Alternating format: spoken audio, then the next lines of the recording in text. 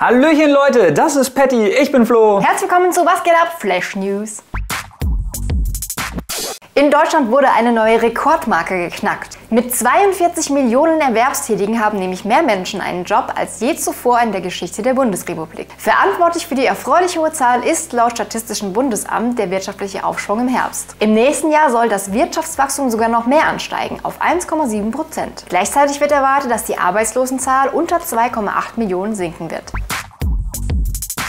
Im amerikanischen Kongress haben am Dienstag mehrere hochrangige NSA-Mitarbeiter vor einem Geheimdienstausschuss ausgesagt. Ursprünglich ging es bei der Anhörung um die Bespitzelung von US-Bürgern, aber auch die jüngsten internationalen Ereignisse wurden thematisiert. In Bezug auf die Ausspähung Europas drehte der NSA-Chef Keith Alexander den Spieß plötzlich um. Er geht davon aus, dass amerikanische Spitzenpolitiker von europäischen Geheimdiensten ebenfalls überwacht werden. Hinzu kommt, dass spanische und französische Geheimdienste die NSA bei ihrer Arbeit unterstützt haben sollen. Abgehörte Telefonate und ausspionierte Daten hätten sie direkt an den amerikanischen Geheimdienst weitergeleitet. Die von Edward Snowden enthüllten Dokumente seien außerdem von den Medien völlig falsch interpretiert worden. Nicht die NSA hätte Millionen Anrufe in Spanien und Frankreich überwacht, sondern die eigenen Geheimdienste.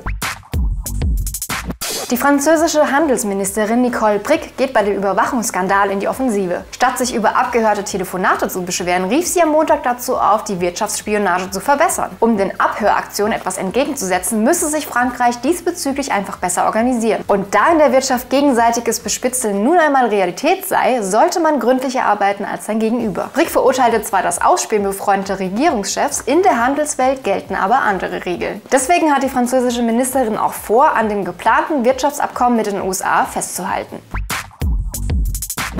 In Russland muss der Oppositionspolitiker Alexei Nawalny erneut vor Gericht, um sich zum Vorwurf des Betrugs und der Geldwäsche zu äußern. Nawalny soll zusammen mit seinem Bruder vor fünf Jahren mehrere Millionen Euro des Konzerns Yves Rocher veruntreut haben. Bereits im Juli wurde der Putin-Kritiker zu einer Bewährungsstrafe von fünf Jahren verurteilt, da er einen staatlichen Holzbetrieb um fast 400.000 Euro betrogen haben soll. Wenn Nawalny in dem neu aufgerollten Verfahren schuldig gesprochen wird, drohen ihm bis zu zehn Jahre Haft. Er selbst bezeichnet die Vorwürfe als absurd und geht davon aus, dass der Kreml ihn so mundtot machen möchte. Da der erste Versuch nicht geklappt hat, probiere die Regierung ihn mit dieser zweiten Geschichte politisch auszuschalten, sagte Nawalny.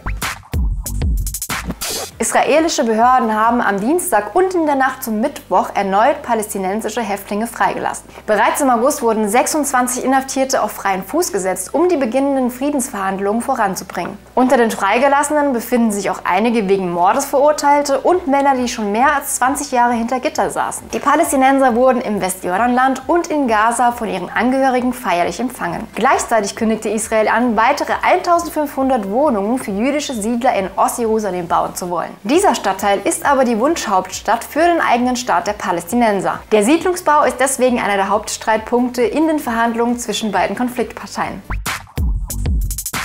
In Syrien haben sich laut der Weltgesundheitsorganisation WHO zehn Kinder mit dem Poliovirus angesteckt. Der Virus löst die gefährliche Krankheit Kinderlähmung aus und wird normalerweise durch eine Impfung abgewehrt. Da die gesundheitliche Versorgung in Syrien seit Beginn des Bürgerkriegs vor zwei Jahren extrem eingeschränkt ist, wurden viele Kinder nicht geimpft. Der letzte registrierte Fall von Kinderlähmung liegt 14 Jahre zurück. Nun sind aber mehr als 100.000 Kinder unter fünf Jahren einem akuten Infektionsrisiko ausgesetzt, sagt ein Sprecher der WHO. Wegen der Flüchtlingsströme sollen nun auch in den Nachbarländern Nachbarländern Syriens die Polio-Impfungen verstärkt werden.